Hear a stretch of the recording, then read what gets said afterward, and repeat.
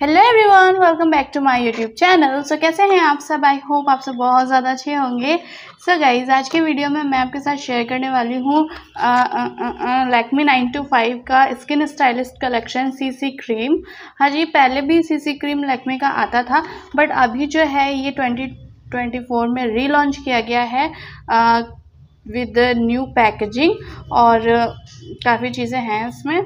तो क्या क्या है? मतलब वैसे ही क्रीम है या मतलब पुरानी वाली लैक्मे सीसी की क्रीम की जैसे है या फिर इसमें कुछ नया है? सारा कुछ बताऊँगी इस वीडियो में। तो वीडियो में एंड तक ज़रूर बने रहिएगा। तो चलिए फटाफट से वीडियो को स्टार्ट करते हैं। सो पैकेजिंग वाइज अब देख लो, इस तरह की कुछ ये पैकेजिंग में आने लगा है मेटेलिक पैकेजिंग में। और पहले जो थी, वो मर्जेंटा कलर की पैकेजिंग आती थी पिंक कलर में।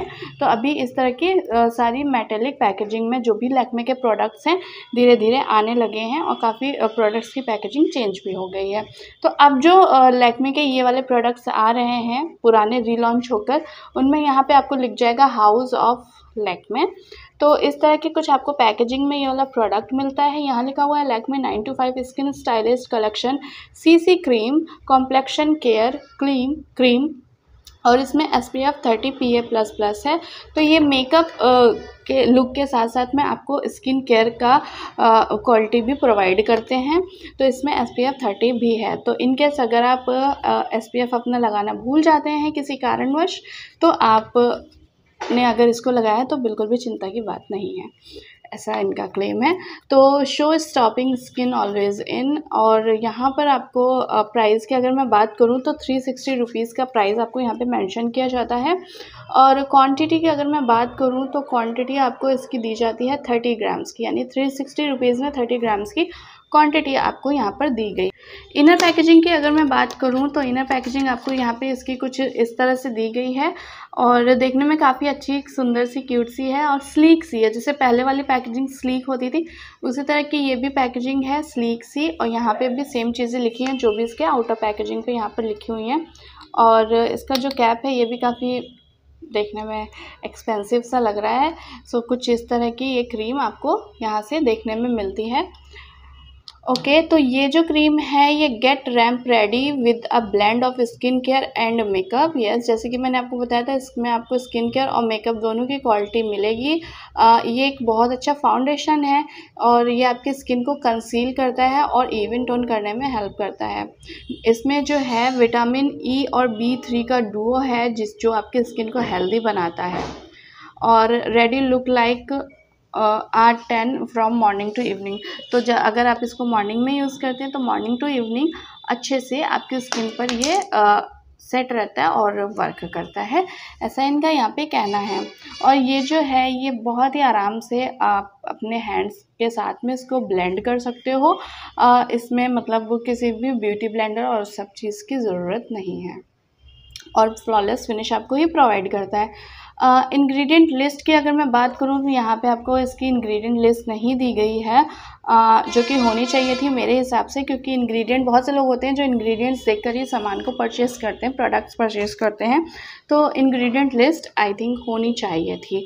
बट यहाँ पे इन्होंने नहीं दी है तो क्या ही कर सकते हैं। ओके okay, ये तो इसका आउटर पैक हो गया। शेड्स की अगर मैं बात करूँ तो आपको इसके सिक्स शेड अवेलेबल करवाए गए हैं इसमें और पुरानी वाली जो थी उसमें भी सिक्स शेड ही इस तरह से अवेलेबल थे। तो मेरे पास में पुरानी वाली है नहीं है, वरना फिर मैं आपको वो भी दिखा देती। उसमें भी सेम इसी तरह का चार्ट यहाँ पर दिया हुआ था, जैसे ये दिया है। मेरे पास में जो शेड है वो ज़ीरो वन बेज शेड है और इसमें आपको सिक्स शेड मिलते हैं, जिसमें है बेज और फिर one A frappe zero two honey, zero three bronze, three A caramel and zero four almond. ठीक है तो इस तरह के शेड हैं। मेरे पास में जो शेड है वो है ज़ीरो वन बेज और अभी ज़्यादातर मार्केट में ज़ीरो वन बेज ही अवेलेबल है और धीरे धीरे करके सारे शेड अवेलेबल हो जाएँगे। अवेबिलिटी की अगर मैं बात करूँ तो आपको ये ऑनलाइन में मिल जाएगा। मैंने भी ऑनलाइन से परचेज़ किया है। मैंने कहाँ से मंगाया था पर्पल से मंगवाया था। तो वहाँ पे आपको मिल जाएगा। बाकी सारी ही ऑनलाइन भी मिल जाएगा। ऑफलाइन भी ये आपको आराम से मिल जाएगा। टेक्सचर की अगर मैं यहाँ पे बात करूँ तो टेक्सचर आपको इसका कुछ इस तरह से टेक्सचर देखने को मिलेगा।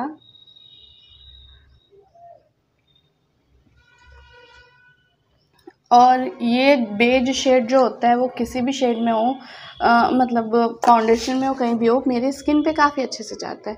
तो आप देख सकते हो बेज शेड कुछ इस तरह का है। मेरे स्किन टोन के हैं, अगर आप तो बेज शेड आपके ऊपर भी जाएगा और बहुत ज़्यादा जो फेयर होते हैं तो सबके लिए मतलब अलग अलग स्किन टोन है।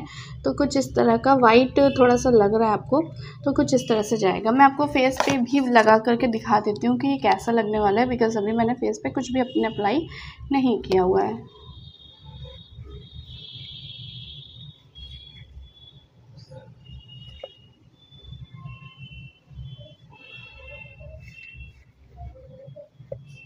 एक साइड अप्लाई करके दिखाऊँगी। और हैंड से ही मैं ब्लेंड कर रही हूँ क्योंकि ये डेली स्किन केयर में लोग यूज़ करते हैं। फाउंडेशन जो लोग नहीं यूज़ करना चाहते हैं तो वो इसको आराम से यूज़ कर सकते हैं। तो डेली में जो कोई यूज़ करता है तो वो हाथ से ही यूज़ करता है आई थिंक और मैं भी डेली में अगर कोई चीज़ अप्लाई करती हूँ तो वो फिंगर टिप से ही अप्लाई करती हूँ, क्योंकि फिर ब्रश और ब्लेंडर यूज़ करना उतना मतलब थोड़ा सा डिफ़िकल्ट हो जाता है। तो आप देख सकते हो, इस साइड वाली जो स्किन है, थोड़ी मतलब अच्छी डूई सी लग रही है, शाइनी सी लग रही है। और इस साइड वाली स्किन, जहाँ पे मैंने क्रीम को, इस सीसी क्रीम को अप्लाई नहीं किया है, वो नॉर्मल, जैसी मेरी स्किन थी, उसी टाइप की लग रही है। तो ये वाली स्किन काफ़ी अच्छी लग रही है मुझे तो आप डिफरेंस देख सकते हो। इसको लगाने के बाद में आपकी स्किन कैसी लगने वाली है। तो मैं दूसरी साइड पे भी इसको अप्लाई कर लेती हूँ।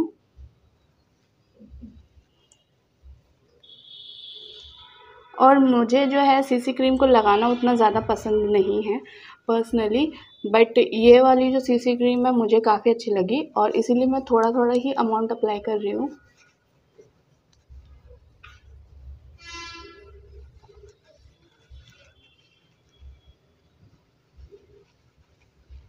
और ये धीरे धीरे स्किन पे सेट होता है मतलब तुरंत लगाएँगे तो देखिए इस तरह का लगेगा बट धीरे धीरे सेट होने लगता है ना तो स्किन डुई सी लगने लग जाती है।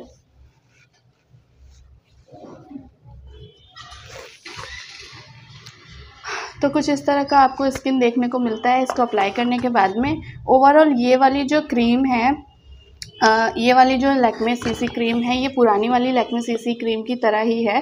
तो अगर आपके पास पुरानी वाली है तो आप पहले उसको यूज़ करके ख़त्म कर लीजिए, उसके बाद में आप इसको यूज़ कीजिएगा।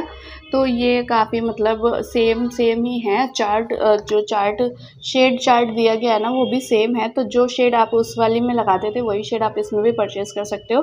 कोई डिफरेंस नहीं है। और दोनों सेम है। आई थिंक बस पैकेजिंग इन लोगों ने चेंज करी है और उसको रीलॉन्च किया है बस। तो परचेज़ करना चाहते हैं तो डेफिनेटली परचेज़ कर लीजिए बट अगर ओल्ड है आपके पास में तो पहले ओल्ड वाली को ख़त्म कर लीजिए। दोनों सेम ही हैं, कुछ ज़्यादा खास डिफरेंस नहीं है। तो आज के वीडियो में बस इतना ही। आई होप आपको मेरा आज का ये वाला वीडियो अच्छा लगा होगा। वीडियो अच्छा लगा हो तो इस वीडियो को लाइक ज़रूर कीजिएगा शेयर ज़रूर कीजिएगा फ्रेंड्स और फैमिली के साथ में। और चैनल पे नए हैं तो चैनल को सब्सक्राइब तो ज़रूर कर लीजिएगा, जिससे कि आपको मेरे आने वाले वीडियोज़ की नोटिफिकेशन सबसे पहले मिल सके एंड आप सबसे पहले मेरे चैनल पर आ सके। अब मैं मिलती हूँ आपसे नए वीडियो के साथ में। तब तक लिए बाय